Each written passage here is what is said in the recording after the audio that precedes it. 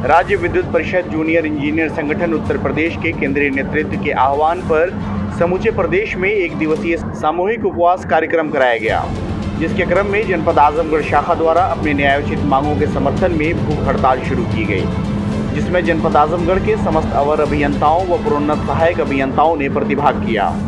उन्होंने कहा कि यदि प्रबंध तंत्र द्वारा संगठन के न्यायोचित मांगों को पूरा नहीं किया गया तो संगठन आगे आंदोलन को और तेज करते हुए क्रमिक अनशन एवं अनिश्चितकालीन कार्य बहिष्कार करने को विवश होगा।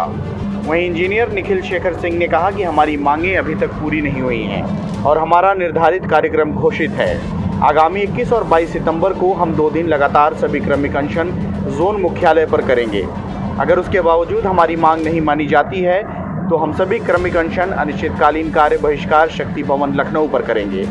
जिसकी पूरी ज़िम्मेदारी प्रबंध तंत्र, ऊर्जा मैनेजमेंट की होगी।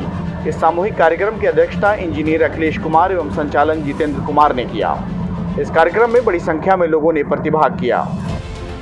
हमारे प्रबंध तंत्र से मांगे हैं कि हमारे विभाग में जो 4800 पे ग्रेड है, वो नॉन फंक्शनल है, उसको समाप्त कर दिया जाए और अभियंताओं को थर्ड टाइम इसके लिए अभियंता का प्रदान किया जाए। हमको जो 2000 हमको जो ग्रेड पे छियालीस सौ मिल रहा है, उसको एक एक दो हज़ार छः से किया जाए। और हमारे जो प्रोन्नत सहायक अभियंता हैं, जिनकी वरिष्ठता का निर्धारण गलत ढंग से प्रबंध तंत्र द्वारा किया गया और किसी विशेष संगठन के दबाव में किया गया, उसको दुरुस्त किया जाए, सही किया जाए। हमारी मांगों पर पिछले एक साल से कई बार समझौते हुए कॉरपोरेशन के प्रबंध तंत्र द्वारा, परंतु आज तक उनका क्रियान्वयन नहीं हुआ। हमारी दस सूत्री मांगे हैं, उसमें हम तमाम संसाधनों की व्यवस्था आप इस समय देख रहे होंगे।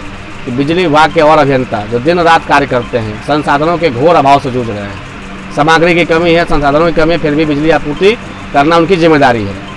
परंतु अब हम इन सब चीज़ों से उब गए हैं और हमने लगातार प्रबंधन से पत्राचार किया अपनी मांगों को रखा। प्रबंध तंत्र इस पर सुनने वाला नहीं है। मांगे नहीं पूरी से क्या करेंगे? यदि हमारी मांगों को पूरा नहीं होता है तो हमारा आंदोलन का कार्यक्रम घोषित है।